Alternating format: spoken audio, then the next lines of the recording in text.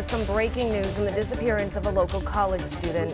According to Erie County District Attorney John Flynn, it appears Saniyya Dennis took her own life. Now, we want to let you know that normally we don't cover suicides, but this is different. This case has gotten so much attention here in Western New York and across the country. We feel we owe you this important update. So, the number, if you need help to get it, is up on your screen right now. And two on your sides, Karis Belger is at the DA's office. Karis, this news conference was quite emotional this morning. Let us know what happened. Uh, good morning, Kelly. We just heard from the district attorney a little under an hour ago. Want to emphasize we would normally not report on the nature of this case. We are only doing so because of how much public interest there was in the search for Saniyya. DA Flynn did give us a timeline of the events as he believed they were based on evidence from multiple law enforcement agencies. He said earlier in the day on April 24th, Saniyya got into an argument on the phone with her boyfriend. He was in the New York City area. He was there the entire time these events took place and he is not believed to be a suspect.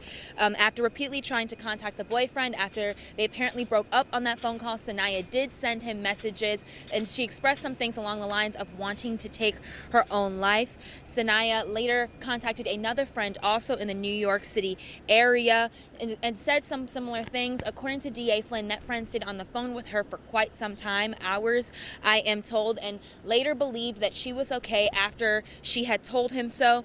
Now, later that evening, the DA says Saniyya threw away some personal items in the garbage. DA Flynn would not go into detail about what those items were. He only said it indicated that she was not going to be returning to her dorm based on what she threw away. In the early hours of April 25th, Saniyya was seen on Goat Island by park police cameras, and this is the last time we know she was seen on camera.